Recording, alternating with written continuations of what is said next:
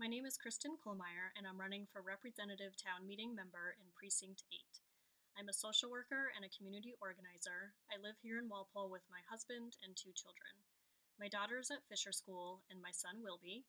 Walpole schools are important to me. Because of that, I'm in support of the middle school project. I believe that the health and success of our schools is essential to the health and success of our children and community. I believe that if we want good things for our families and neighbors, we need to put ourselves out there to do the work to make it happen, which is why I'm running for Representative Town Meeting Member.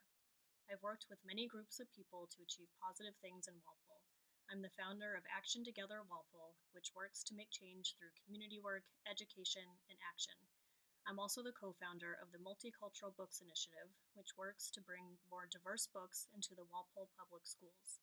Additionally, I've led conversations with community members and the Walpole Police around community policing initiatives.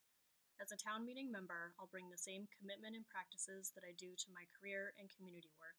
I will show up, I will listen, and I will do any additional work or research necessary to make the best informed decisions. I hope I have your vote on June 5th.